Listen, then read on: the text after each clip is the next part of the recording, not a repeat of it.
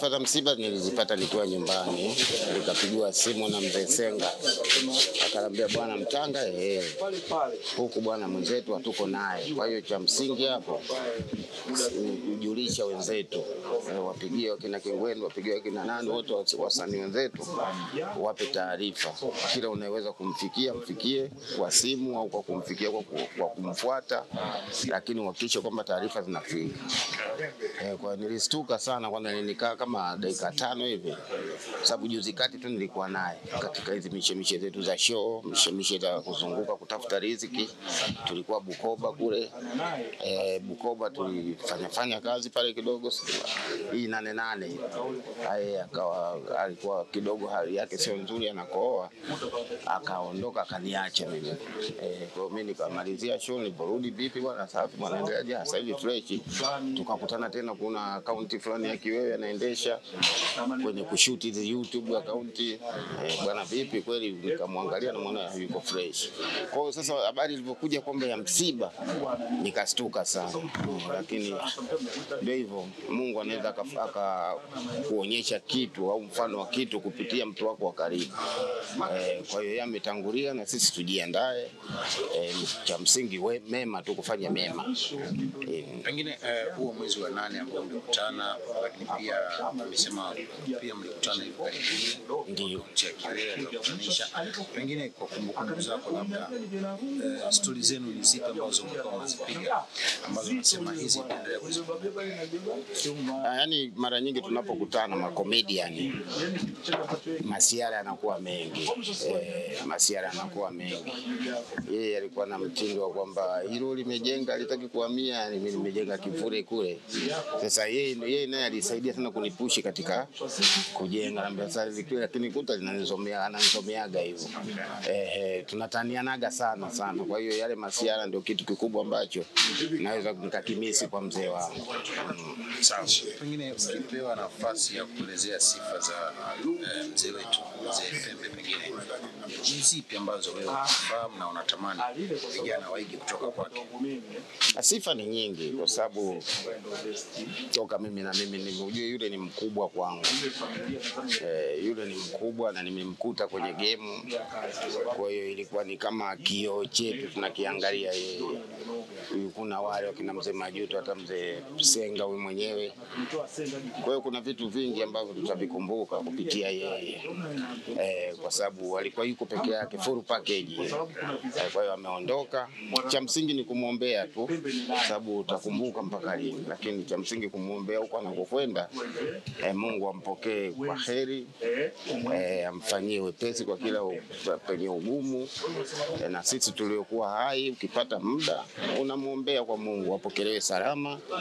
Eh, afike salama, na sisi tuko nyuma yake, kwa sababu itafika kipindi hapa tunaojiana wote tutakuwa hatupo, itakuwa vizazi vingine. Kwa hiyo ni jukumu letu, unapoishi kumbuka hicho kitu. Sawa. Uh, Mzee Pembe alikuwepo kwenye game la uchekeshaji ama uigizaji kwa muda mrefu sana, lakini kuwa na skendo, lakini pia status yake ilikuwa iko vizuri. Pengine unatamani kwa new generation katika uigizaji waendelee kukopi vitu gani kutoka kwa mzee wetu Pembe? Eh, ni kweli Pembe, mimi sijawahi kusikia skendo yoyote, wala sijawahi kusikia sijui baya lake lolote, sijui katoka kwenye gazeti yuko hivi. Eh, sasa na wao sasa hivi nao ilitakiwa waige, ingawa sasa hivi yani wako tofauti. Ujue wale wakina mzee Pembe walikuwa kwenye makundi, wamepita katika Kibisa kipindi kile, JKT huko. Kwa hiyo yani ilikuwa mtu akitoka anatoka yuko full nidhamu, yuko kila kitu, lakini sasa hivi unatoka chumbani kwako au unaweza ukafanya sanaa chumbani na simu yako ukarusha ukawa maarufu. Kwa hiyo lakini cha msingi waige tu maadili ili uweze kusurvive kwa muda mrefu. Eh, ndio maana unakuta wakina Pembe miaka yote kachekesha na hakuwahi kuchuja, kwa sababu alikuwa akiheshimu kila hatua na mheshimu kila mtu, maisha yanakwenda. Sawa. Neno lako la faraja kwa mashabiki na Watanzania kwa ujumla. Ah, ni kuungana tu katika kipindi hiki, hasa wale mashabiki wa uchekeshaji. Nguzo imeanguka kubwa tu, Kwa hiyo kwa kipindi hichi tuwe kitu kimoja eh, tushikamane na Mungu atupe nguvu, atupe wepesi, familia ipewe nguvu, Mungu aijalie eh, tuweze kumhifadhi mwenzetu na tumwombee huko anakokwenda. Asante sana. tayari wameshafanya makubwa sana kwenye kadi hii ya uigizaji. Nazungumza naye vile, atueleze vile ambavyo msiba huu. Tausi, nikupe pole kwa hiki ambacho kimetokea. Asante. Labda ningetamani nifahamu kwa jinsi ambavyo sisi tunakufahamu Tausi, mmoja kati ya waigizaji wakubwa sana, kuna namna yote ambavyo eh, marehemu mzee Pembe alishawahi kugusa maisha yako sana mpaka unatoka una, una kifua mbele kwamba umejisifia kwamba bila Pembe nisingefika hapa nilipo. Kiukweli wasanii wote waliotangulia na kwamba mastaa wakongwe tumewaona wao, ndio maana na sisi tukaona kumbe inawezekana na sisi kuendelea kuigiza. Kwa hiyo ndio maana na sisi tukajitokeza kwa ajili ya kuingia kwenye ta, na, a, kwenye tasnia ya uigizaji. Kwa hiyo nadhani bila wao tusingejua kama tunaweza kuigiza na mambo mengine kuendelea. Mm. Kuna kuna listi la malegendi ambao wameshatoka, tunafahamu palikuwa na mzee Majuto eh, palikuwa na mzee lakini jana tumeweza kumpoteza mzee wetu mzee Pembe. Kwa listi hawa malegendi wanavyoondoka, unaionaje sana hasa? Ah, hatuwezi kumpangia Mungu. a, ni mapenzi ya Mungu, lakini kila mtu anatamani mtu aendelee kuishi kivyovyote vile, na hata kama atazeeka akauke awe kama mtu, lakini akiwa yuko hai, ila Mungu ndo alishapanga kwamba lazima binadamu wafe na maisha mengine yaendelee. Ah, tunasikitika kwa kuwapoteza, kwa sababu bado tunawahitaji, kwa sababu hata akiwa mzee vipi anaweza akaigiza hata akiwa amelala, hiyo haipingiki. Kwa hiyo kiukweli inatuumiza, inatuumiza sana, kwa sababu kifo hakizoeleki. Kwa kalamu uweze kumchora ama kumwelezea eh, marehemu mzee Pembe, kwako alikuwa ni baba, kwako alikuwa ni kaka, kwako alikuwa ni msanii wa design gani hasa? Ah, wote wanawaita baba kwa sababu ni watu ambao pia wamenizidi umri, lakini pia wao ndo ambao wameanzisha sanaa kama nilivyosema, na sisi tukawa tunawaona, lakini tukavutiwa nao tukaja kufanya sanaa. Kwa hiyo ni, ni msanii mzuri, ni baba bora pia. Aa, ni mtu tu ambaye anaishi na kila mtu, hakuwa na ile kubagua mtu yoyote.